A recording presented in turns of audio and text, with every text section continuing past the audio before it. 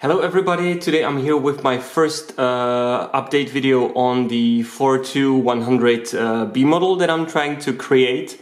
And as well, uh, one of the things that I announced but uh, got somehow lost totally. So uh, my YouTube channel uh, just reached 10,000 subscribers and I would like to thank you for that, for staying with me for I guess 10 years already since I, since I started this channel. Um, and I basically asked you in the in the post to submit questions that you would like to ask me, anything. Basically, there are of course things that I wouldn't be able to answer due to confidentiality or other reasons.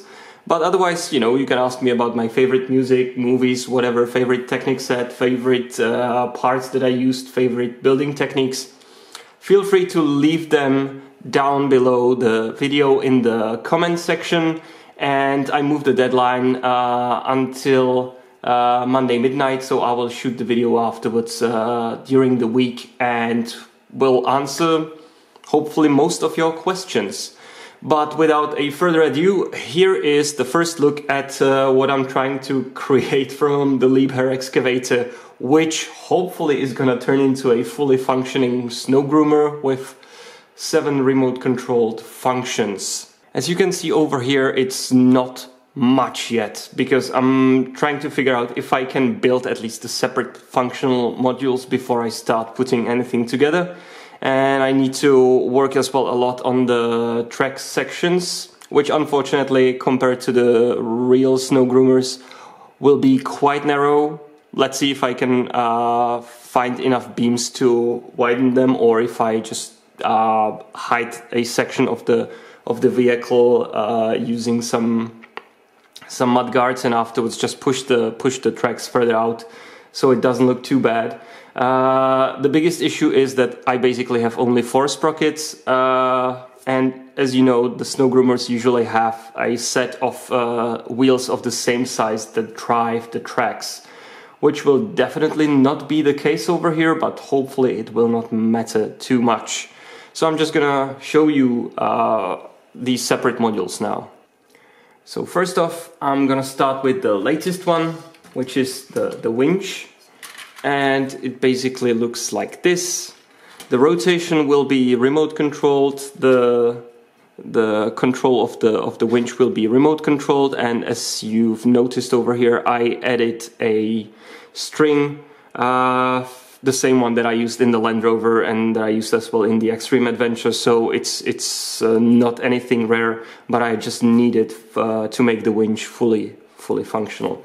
So rotation of the winch uh, and winding of the string and manual raising and lowering of the of the winch boom because I think it's the least important one. And to be honest, if I wanted to motorize everything that I would love to on the snow groomer, I would need at least three more motors, which I definitely don't have. So yes, this is the winch module. I'm just gonna put it to the back. This is very quick look at how the cab is looking at the moment. This was really quickly put together, but I think it works kind of fine. As well like how the uh, the number, the nine uh, 9800 if you flip it upside down creates 0086 so I'm just gonna keep it as it is right now. And yes you can open and close the door on the cab I have seats somewhere in the box already built but uh, first I need to figure out where the placement of all the motors and electronic parts will be which is gonna be quite tough. This is just a simple six cylinder inline engine which usually the snow groomers are powered by uh, let's see if I can fit this one inside. Uh, yeah, this is just a quick mock-up trying to test the speed of the of the tracks. So as you can see, there's a lot less gearing involved over here. So it should be it should be faster than the Liebherr. And since I'm probably not going to use all the parts, definitely not, uh, because this is going to be much smaller. Um, I don't think I will need that much power in the tracks. And last but not least is the module that I built as the first one, which is the, the front blade. So by moving this actuator, you can actually tilt the blade from side to side. Uh, by this one, you can raise and lower the blade. Of course I can't use the full range of the of the long actuators because yeah, it would be just way too much. I would have to I would have to move the blade a lot further to the front which I definitely don't want so I want to keep it kind of in, in proportions. And the last two functions is basically that you can open and close the sides of the blade to change its shape independently. This will be manual definitely because I don't think it's that necessary.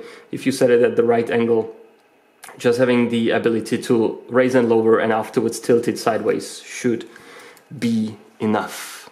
So that's it from my side. Don't forget to leave the questions down below in the comment section.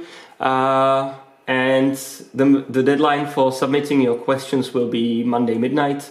Uh, then during the uh, during the week, I will uh, make a video where I will answer most of them, hopefully.